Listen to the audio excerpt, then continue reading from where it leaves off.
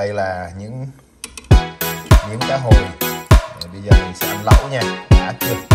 Đỏ chưa mọi người đã không? Đó wow. Đây. Đã chưa? Đã chưa? Đó. miếng cá hồi.